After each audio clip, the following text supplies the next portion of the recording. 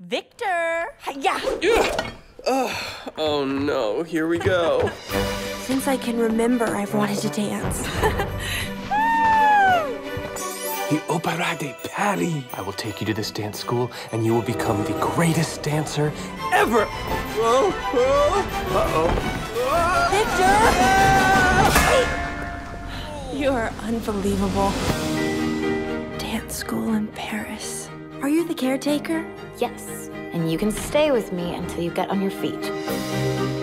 Every girl in this room has a chance to dance in my new ballet. Starting tomorrow, we'll have an audition. Can you dance? Yes. At least I think I can. Who is that? Rudy? I love him. He's so blonde. you can work as hard as you like, but you will always be nothing. So how do I get that part? Because you have something she can only dream of. Passion. And I won't give up the fight. And you won't give up the Get that part. Do you hear me? I have no idea why you're happy, but it is great!